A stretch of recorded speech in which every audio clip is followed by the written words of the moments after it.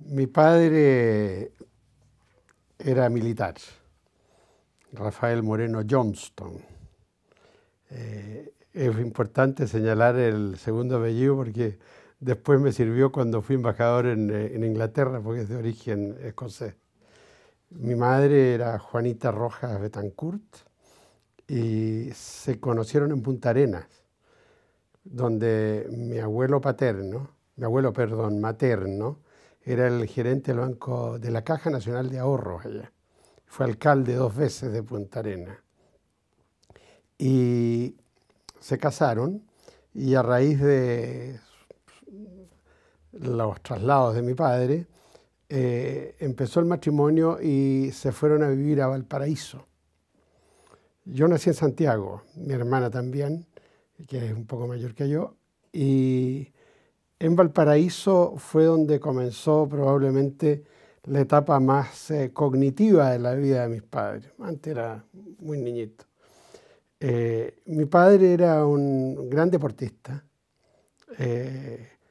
fue muy bueno para carreras, saltos, otras cosas, ganó muchos premios en ese plano, porque venía de una familia de deportistas. Mi abuelo paterno es uno de los que ayudó a construir los ferrocarriles en el sur. Y en Valdivia convivieron en una pensión o en un hotel que había ahí con la familia Salvador Allende, que en ese momento vivían los Allende Gossens en Valdivia. Eh, cosa que la mayoría de la gente no sabe. Eh, y ahí se conocieron. Mi abuelo eh, era ingeniero de ferrocarriles. En consecuencia, mi padre y mi madre sabían que venían de familias donde los abuelos, o los padres de ellos tenían una diferencia de entre 15 y 20 años con las señoras.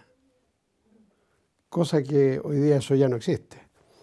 Pero eso les dio la sensación de que eran mucho más apegados a las madres que a los padres. Los padres eran como símbolos muy lejanos. No fue así mi padre. Mi padre no era tan lejano porque me incluyó dentro de los deportes, me incluyó dentro de las actividades que hacía. Y muchas veces mis patios del juego fueron los regimientos. Ahí jugaba yo porque me llevaban y como habían caballos, a veces algunas cosas, entonces era una, gran atracción. Eh, desgraciadamente mi padre enfermó cuando yo tenía unos 12 años de un tumor cerebral. Vivíamos en Antofagasta. Eh, y allí él, eh, un buen día, lo examinaron, se lo trajeron a Santiago en avión y terminaron que tenían que ir a operarlo al cerebro en Estados Unidos en el hospital Walter Reed, que es el hospital de las Fuerzas Armadas de Estados Unidos. Pasó el avión por Antofagasta, tomaron a mi madre y se los llevaron los dos. Y quedamos los tres, mi hermana, yo y un hermano chico, que desgraciadamente mi hermano falleció, siete años menor, eh, solos. Y nos repartieron mi hermano se lo llevaron una, tía y un tío que era el médico de las salitreras arriba, en Pedro Valdivia y María Elena, así que se fue a vivir con ellos, con la nana que andaba con... con eh, mi hermana se fue a vivir eh, a la casa del general de la división, general Orlando Poblete, y a mí me llevaron a la casa de un oficial de apellido Figueroa, Abraham Figueroa, casado con doña Hilda Tomic, hermana de Radomiro Tomic. Y ahí fue cuando yo tenía 12 años que vi por primera vez a Radomiro Tomic. Pasamos casi un año, volvió mi padre a la operación y, y nos trajeron, lo trasladaron a Santiago, pero él ya quedó con parte del tumor adentro, en consecuencia siguió dentro del ejército en una función más bien administrativa, pero ya era un padre más lejano. Eh, ahí ocurrió una cosa muy pintoresca en mi vida. Cuando yo iba muy adelantado en el colegio, no por ser el mejor alumno, sino porque con los traslados de mi padre siempre me ponían al curso superior para ganar tiempo. Así que yo a los 10 años estaba en lo que, es el, eh, en lo que era el primer año humanidad. tuve que dar el examen de madurez en el Instituto Nacional, lo pasé y ahí quedé. En consecuencia, después de la enfermedad de mi padre, yo empiezo a vivir un proceso en el cual cuando termino, cuando volvemos del norte, de Antofagasta, yo le digo a mi padre que quería ser, entrar a la escuela militar. Y mi papá me dice, hijo, yo amo mi carrera.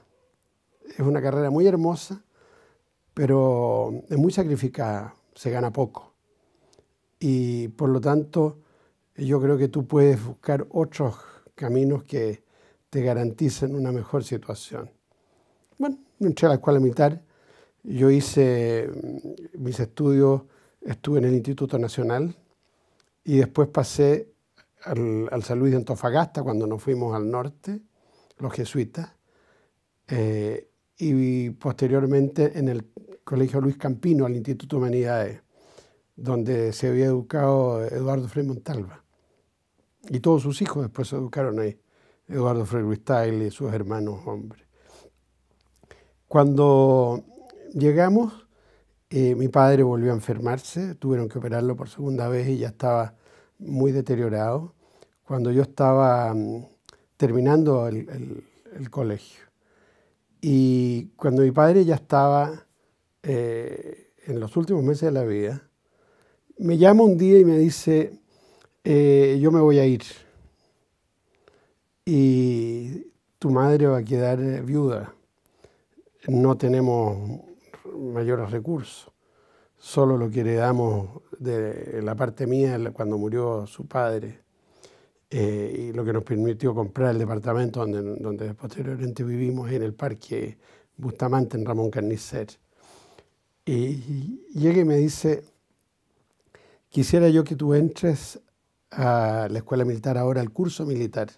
Terminas tu sexto año de humanidades, das tu bachillerato y entras y te van a recibir ahí. Eh, porque con eso vas a tener una carrera que te la van a financiar y vas a tener un destino seguro eh, desde inmediato. Y no vas a ser una carga para tu madre.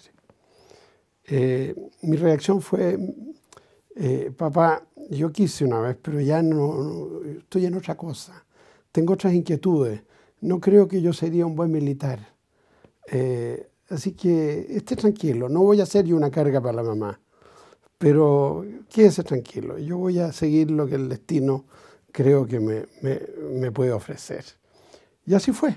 A los pocos meses mi padre murió, murió cuando yo estaba dando exámenes para entrar a la escuela de medicina.